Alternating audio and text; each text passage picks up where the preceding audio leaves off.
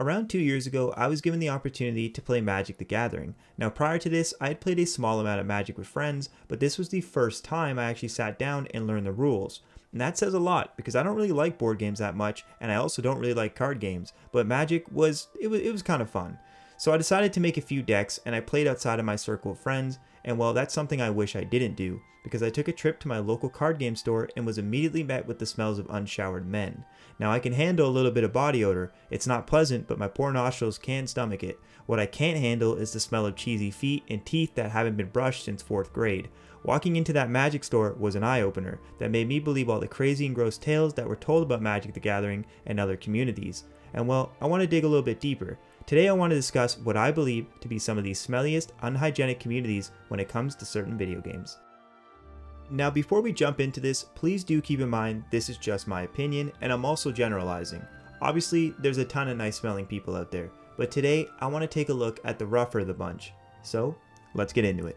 The first one is a classic, and one that I actually wanted to buy a membership for as a kid, the legendary game known as World of Warcraft. I used to work at Walmart a long time ago in the electronics section, and my coworker, who had been there for much longer than me, would always recount a story about the release of the WoW DLC, Cataclysm. Basically, he was working the release night for it and was doing the pre-orders, and some of the most interesting people came out of the woodworks that night. He basically said that most of the people who showed up were largely overweight and didn't smell too nice. Now, I don't have anything against people who are big, but you gotta admit, seeing that line would make you question the community this kind of game attracts. And it's not just me. South Park went and made a Make Love Not Warcraft episode, which put that image on full display. But I can see how people lose track of themselves in games like these with their addictive nature and the need to continually stay progressed. The next community is what you consider to be a hidden gem of sorts, as I doubt many people would ever bring this one up, but it is a notable one, at least for me, and that game is Guitar Hero. To me, Rock Band was the casual title that parents and children played, but for the teenagers and hardcore adults, Guitar Hero was on another level, this was because the game had a much more arcadey feel to it that demanded countless hours of playing and mastering various hand gestures to reach those high scores. But with the need to hit those high scores also came the need to make some sacrifices.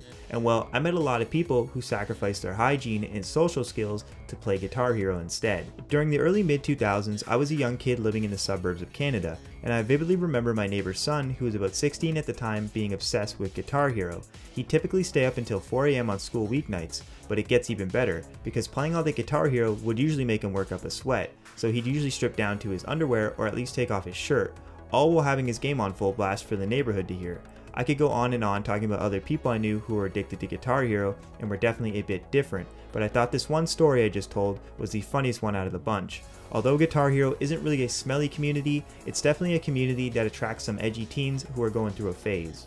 The next community is one that has been deemed the most toxic community on the internet, so it really only makes sense that it would also contain some of the freakiest individuals. The community I'm talking about is no other than League of Legends. Now, admittedly, I've never actually played a full game of League, but I've got to see some pretty depressing things online when it came to this game.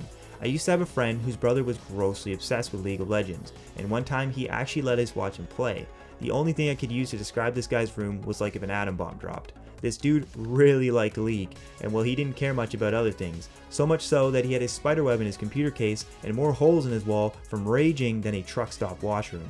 But it's not just my personal experiences that validates this opinion, because Gamers Captivity even published an article about professional League of Legends players having severe body odor issues, along with viewers in the crowd. And while Quora and Reddit are also just filled with forums talking about this stuff, so it's fair to say that some League players are a bit too into the game. And now we are on to our final pick for the smelliest gaming community known to man, and that is... Super Smash Bros. So I'm going with the two main games here of the series, which are Melee and Ultimate. The Super Smash Bros. community is the only one I've ever heard that had to impose body hygiene into their tournament rules. If you show up smelling like death, you will be disqualified. The fact that they had to even impose this was so crazy to me, I didn't believe it at first. But after seeing a tweet posted in 2019 saying, a smasher actually shit their pants mid-set at the monthly last night, in utter disbelief, end quote, and then a follow-up reply from the player stating, he played through it, won the set, and then left after. It seems Smash Bros not only has toxicity within it, but also a nice layer of nasty smells. And before we wrap up this video, I just want to bring up two honorable mentions. So the first one was Counter-Strike players. Now I decided against this one as most players aren't really smelly but rather just extremely toxic, so I didn't feel this one was eligible to make the list. And the other honorable mention was Rust. Now the reason Rust was close to making list is because the amount of time the game actually demands usually guarantees the people playing it aren't showering or eating, but then I eventually decided against picking it as most of the people who play the game are usually just toxic and yeah, well they have too much time on their hands. So anyways, that wraps up this video. Please let me know what games you think should have been mentioned and what experiences you've had within these various communities. Please subscribe if you haven't, and I hope you have an awesome day.